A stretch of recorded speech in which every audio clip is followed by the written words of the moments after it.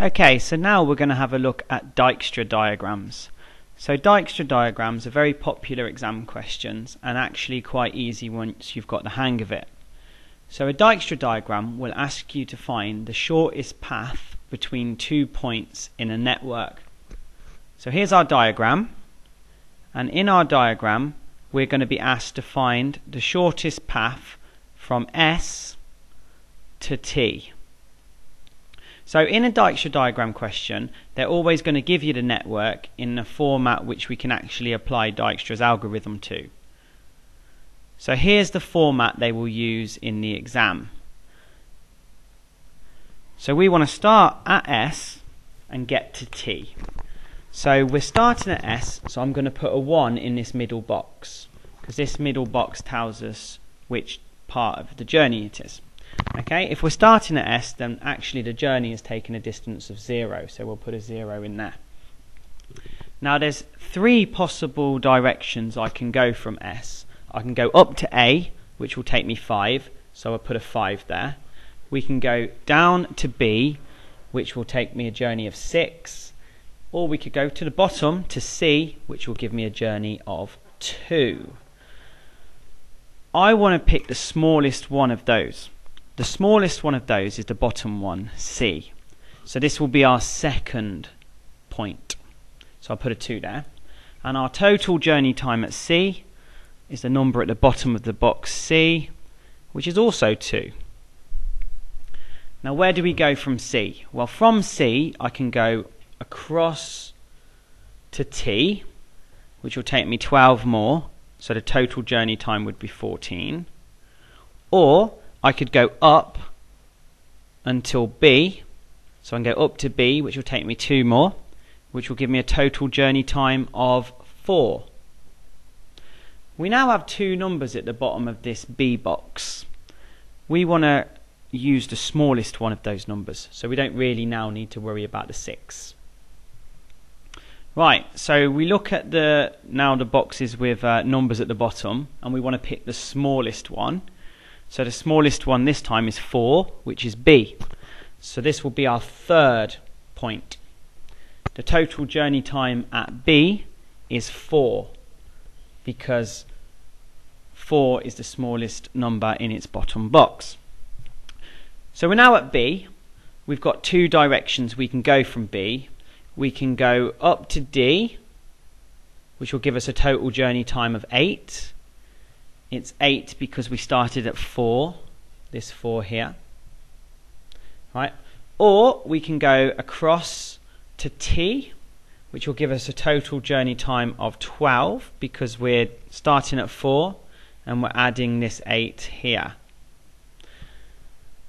As you can see now at the bottom of the box T, we've got two numbers. We don't really care about the 14 anymore because 12 is smallest. So we now look at our three boxes with numbers in the bottom, and the smallest one is 5. So this will be our fourth choice, with a total journey time of 5, because 5 is in the bottom of that box. There's only one place I can go from A, and that's down to D, which will take 4 more, which will put me on to 9. Well, 9's bigger than the 8 that's already in that box, so we can cross it out. We're not very interested in that. Two more boxes. We've got D, which has got an 8 at the bottom, and we've got T, which has got a 12 at the bottom. Which one are we going to choose? We're going to choose D, because D is the smallest number, so that's the fifth one we're going to choose. And that has a total journey time of 8. Where can we go from D? Well, only one place from D, which is down to T, which will take me three more, which will give me a total journey time of 11. 11 is the smallest one out of 12 and 11, so we cross out a 12. We're not too interested in that anymore. And now we're only left with T. T is now the only thing we have left. So T will be our sixth and last choice with a total journey time of 11. What this means is the shortest path from S to T is 11.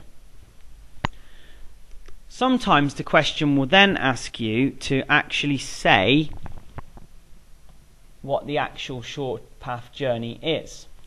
So we normally use a highlighter for this. So we're starting at the end. So we start at T, right, and we work backwards. So we're at 11, our journey time is 11 at T. And there's three places I can go backwards. I could go back 3, and that will take me to D. I could go back 8, and that would take me to B. Or I can go back 12, and that will take me to C. Only one of those will be okay.